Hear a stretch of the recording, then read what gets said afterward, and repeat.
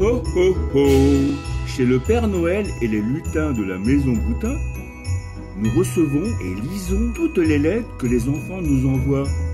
Les lutins se dépêchent alors d'emballer tous les cadeaux soigneusement pour que chaque enfant, petits et grands, reçoive son cadeau au pied du sapin de Noël le 24 décembre.